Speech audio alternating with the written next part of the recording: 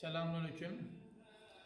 Çok kıymetli ve değerli mümin ve mümin kardeşlerimiz, herkese hayırlı günler. Bugün sizlerle aklıma gelen bir metodu paylaşmak istiyorum. Ola ki belki lazım olabilir. Evet. Şu an bulunmuş olduğumuz cami Dilemen'de Avrupa Türk İslam Birliği derneklerine ait. Kısacası ATİP. ATİP'e bağlı olan Hazreti Meryem Camisi.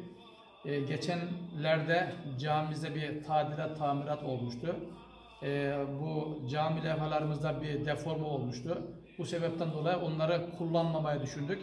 Ve onun yerine de inşallah bu metodu uygulayacağız.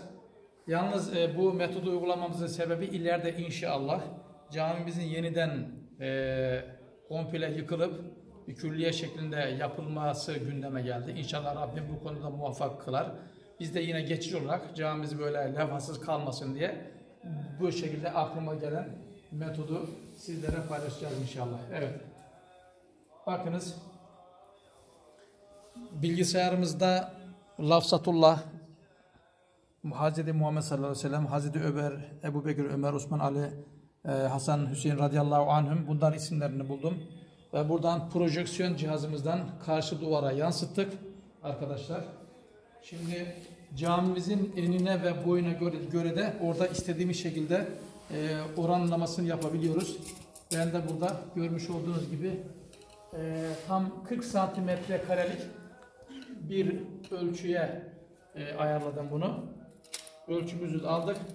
Buradaki en önemli mesele ölçümüzde böyle yamuk levhamıza yamukluk olmasın diye terazimizi tam bu şekilde tuttuğumuz zaman tam terazimizde olmasına dikkat edeceğiz. Ve duvara yansıttıktan sonra değerli arkadaşlar bu şekilde harflerin kenarlarını hafifçe kurşun kalemimize geçiyoruz.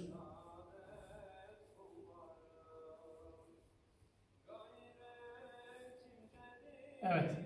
Bu şekilde çizim işlemi de bittikten sonra bitirmiş şeklinde, bitmiş şeklinde gösterelim inşallah. Bakınız burada Hz. Muhammed sallallahu aleyhi ve sellem Efendimiz sallallahu aleyhi ve sellem burada Lafzatullah ve Hz. Ebu Bekir radıyallahu anh ve bu şekilde çizim işlemimiz de bittikten sonra da oradaki renge uygun bir şekilde boyama işlemimizi de yapacağız inşallah.